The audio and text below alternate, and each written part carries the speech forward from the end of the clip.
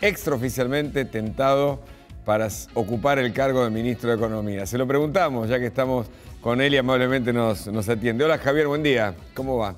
¿Qué tal, Hugo? ¿Cómo estás? ¿Todo ¿Es, bien? ¿Es cierto el rumor o la versión que circuló sobre que le ofrecieron a la cartera? No, no, la verdad que no. Yo hablo mucho con Sergio Massa, con Martín Redrado, somos, con Martín soy colega y amigo desde hace mucho.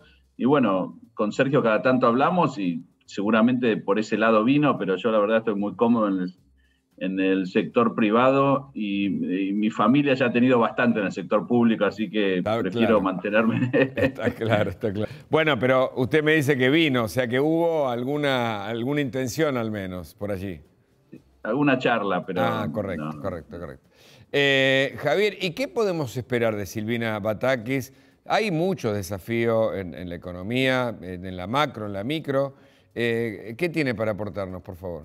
Mira, yo conocí, la conozco mucho a Silvina, Ah, soy amigo de ella. Eh, primero, cuando nombran a un funcionario, la verdad que a mí yo jamás hablaría mal o diría algo.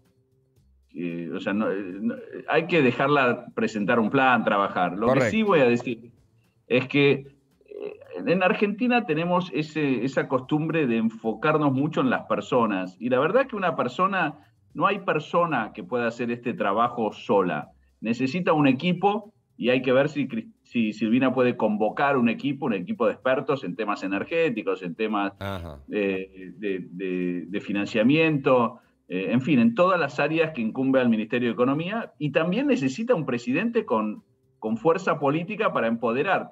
Es, como que uno no sabe, es como uno llama a un médico, pero el médico llega a tu casa y le tenés que decir lo que te pasa, si no, y lo que querés que haga el tipo, si no, es muy difícil que el tipo adivine. Entonces, la realidad es que lo que debería hacer el presidente es explicar qué es lo que le pidió a la, a la- a la ministra y qué es lo que la ministra va a hacer y qué puede hacer y, qué tipo de empoderamiento le ha dado. Sin eso no hay personas mágicas. Ya lo vimos eso con, con Caballo en su momento, cuando vino a salvar a, a la patria. No es que Caballo era bueno o malo, es que el contexto político no daba. Los problemas argentinos son problemas políticos. Muchos creen que son problemas económicos. No lo son. Yo creo que acá lo mencioné en tu programa varias veces Sí. y es lo que realmente pienso. Hoy en los inversores afuera no están preocupados porque si, si Silvina cree que el déficit tiene que ser 2.5 del producto o 2.8. Están preocupados por saber si va a tener la capacidad para hacer y, gestionar eh, lo que haya que hacer con apoyo político de los dos socios, de- del, del presidente y la vicepresidenta. Mm. Eh, interesante, eh, porque además nos deja alguna expectativa planteada por los equipos que tienen que manejar nada menos que un ministerio tan importante. Ahora, uno conoce, por ejemplo, a las personas a través de declaraciones anteriores. Es la única manera en la que los periodistas, sin ver lo que, lo que viene, podemos señalar algunos rasgos, por lo menos del perfil, ¿no? De, de Bataki. Si ella, por ejemplo, en uno de sus tweets dice que la emisión no genera inflación. Ese dato, ¿cómo, cómo puede ser analizado? No, yo eh, eh, eh, leí en Twitter, vi ese, eso, otros decían que era un tweet fake, no sé. a su- yo creo que es irrelevante también lo que piensa eh, teóricamente un funcionario. Hay que ver lo que la realidad le permite hacer. Ajá. Si vos realmente te manejás en un contexto tan difícil por ideología, y esto va para todos, Claro. para todos los funcionarios, estás, no, es un punto, como dicen en Estados Unidos, un non-starter. Vos tenés que consensuar y hacer lo que crees que podés, dado el contexto. La realidad es que hoy no hay plata para aumentar el consumo, tenés una inflación y una inercia inflacionaria muy fuerte, eh, no hay reservas que te están condicionando tu moneda y la gente espera una devaluación o, se asusta ante la posibilidad de una devaluación, no tenés muchas herramientas como para hacer lo que vos crees que hay que hacer según los libros. Eso fue un poco eh, uno de los problemas que siempre hubo con, con, con los ministros de Economía en la Argentina. Hay que consensuar, hay que buscar la forma de llegar eh, viendo qué es lo que el mercado y las circunstancias te permiten. Entonces yo lo que espero es que dada la situación tan delicada, se arme un equipo que pueda consensuar ciertas leyes con la oposición, eh, eh, buscar eh, también eh, entender mejor cómo funciona el Estado, qué tipo de financiamiento se necesita y, cuáles son las condiciones en las que está el país ahora. Yo creo hoy en día salir a emitir para darle, poner más plata en el bolsillo de la gente es un arma de doble filo. Se te va a escapar el dólar, se te va a escapar la inflación, no vas a conseguir refinanciar tu deuda y vamos a estar en los mismos problemas que tuvimos hace dos semanas y por los cuales Guzmán se tuvo que ir. La gran pregunta es si el gobierno, eh, los socios, como usted dice, Alberto y Cristina, eh, planean una economía para llegar al 2023 y tener posibilidades en las elecciones o para solucionar los problemas de la Argentina. Esta es una pregunta que todos nos hacemos. Sí, yo también. Yo espero que, mira, yo creo que si vos sos funcionario, eh, tenés que tener cierta responsabilidad porque de eso va a depender un poco cómo te mire la historia. Eh, sería, yo creo que hay que gobernar pensando en el país, no en las elecciones, y hay que hacer lo que se cree que se necesita irremediablemente de cómo vengan el año electoral. Eh, no estamos en una situación simple y, me parece que es momento de atacar los problemas, pero principalmente de dar una señal de qué es lo que se va a hacer. ¿Cuánto déficit estamos dispuestos a tolerar sin que eh, nos escape, eh, en esta situación? ¿Cuánta inflación estamos dispuestos a tolerar? El gobierno está dispuesto a tolerar.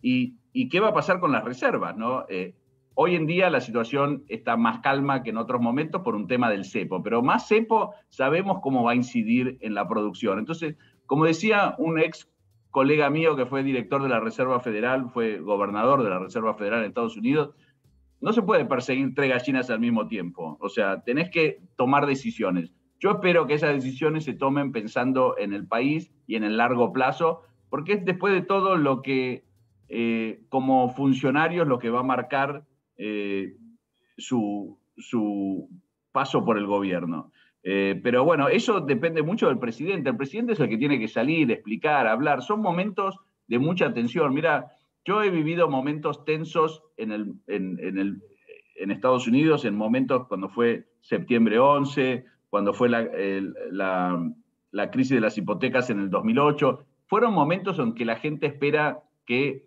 los políticos se pongan a la altura. Y debo reconocer que me parece bastante responsable que la oposición haya mantenido cierto silencio y me parece que el gobierno hoy en día tiene que salir a explicar, lo de ayer me pareció bochornoso el tema de la conferencia de prensa, salir a explicar qué es lo que realmente están pensando, qué es lo que pasó con las negociaciones con Sergio Massa, etcétera, etcétera. Porque no hay nada peor para una ministra de Economía o un ministro o un plan económico que la incertidumbre. Y hoy en día estamos más inciertos que antes de la renuncia de Guzmán.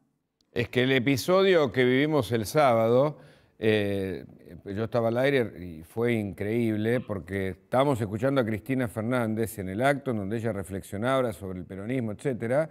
Ocurre el tuit, es decir, que es todo desprolijo. No lo anuncia el presidente, lo anuncia Guzmán. Todo lo que pasa a partir de ese momento, las discusiones eh, aparentemente era la cuarta Silvina Bataki de una serie de candidaturas que no surgieron. Surge después el llamado entre Alberto Fernández y Cristina Fernández. Es decir, es todo muy desprolijo, la conferencia de prensa que no fue. Eh, hay un problema político de fondo y un presidente que para muchos perdió el gobierno a instancia de eh, su socia, pero con, quien tiene una enorme dificultad de, de comunicación al menos, ¿no? Sí, mira, yo la verdad que una de las cosas que estuve recordando, yo tuve una, tengo una relación de amistad eh, que por momentos más estrecha, por momentos menos con, con Ricardo López Murphy eh, desde hace muchos años, pero lo que me sorprendió fue eh, de la renuncia de Guzmán es que recordé la renuncia de Ricardo al Ministerio de Economía, que fue en circunstancias terribles, lo echaron como si fuera un, o sea, vino, tuvo dos semanas, hizo unos anuncios y lo echaron.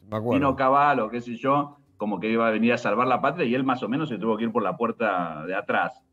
Y, realmente Ricardo tuvo una actitud bastante patriótica de no hablar, no hacer declaraciones y, no tirar más leña al fuego. A mí me, sorprendió Guzmán eh, haciendo un anuncio un sábado, sin dejar preparado el terreno, o sin hablar antes y dejar que el presidente tenga la posibilidad de preparar un plan. Todo eso fue muy de prolijo. Pero por otro lado, la realidad es que están gobernando un país tienen que tener un plan B, plan C y plan D. Eh, no se puede pensar que en una situación tan delicada no tenés una salida eh, en caso de que pase algo. Yo me acuerdo, en Wall Street siempre decíamos, uno cuando es un líder tiene que estar pensando 95% del tiempo en esas cosas que solo tienen 5% de posibilidad de que pasen, porque si pasan no es bueno. Entonces, eh, hoy el gobierno tiene que, durante el día, salir a explicar su plan, cuál va a ser la política respecto al, acuerdo con el fondo, eh, cómo piensa encarar el tema de la brecha, de evaluación, dólar,